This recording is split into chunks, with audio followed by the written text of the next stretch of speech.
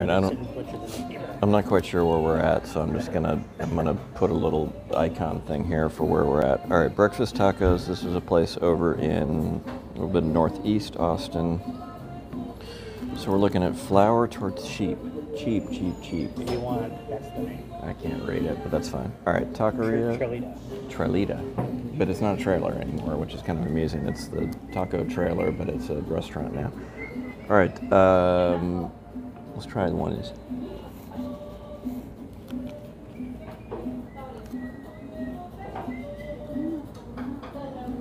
All right, that's the bacon, egg, and cheese.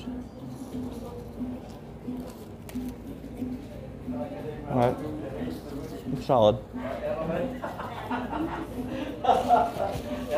Flour tortillas are nice and thin. They go ahead and brown them up on both sides. I think the tortillas are sort of average. Uh, the bonus of this place is this; these are cheap. These are, I think, like two dollars twenty-five cents each.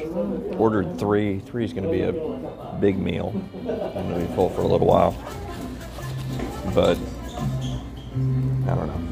All right, let's try the chorizo one.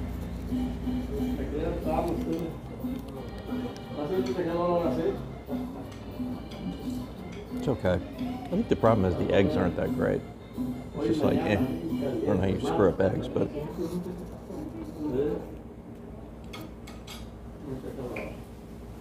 Alright, it's sort of fine. I can't really taste the salsa. This is a green. The green salsa's got a little bit of kick to it, but not a lot of flavor. See? Oh, the red's better. Did you try the red salsa? I think this is better. I think it's got the red's got more kick than the green, which is a little unusual. Nick, the brisketarian. What do you got? Um, yeah, not bad. Which one did you get? Had chorizo, egg, and cheese. Okay. Just solid? Yeah, solid. Out of a five? I don't know. Three, three and a half, maybe.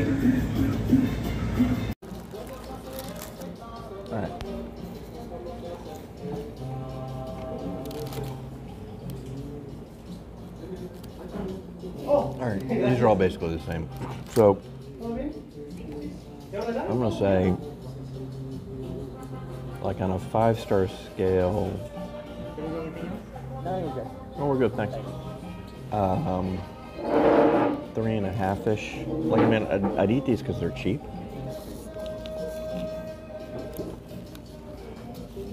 but it's not that close to where I'm living, so it's not worth the drive.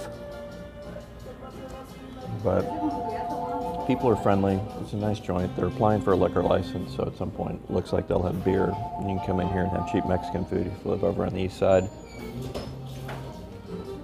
But I don't know if I'll be drive. I mean, I'll drive up here again because I think they've got some more options I want to try with like the non-breakfast taco options. But um, these breakfast tacos are not like top 10ish or anything like that.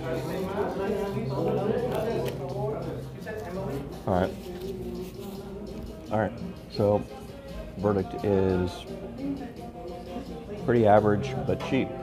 So, cheap is good. Thanks.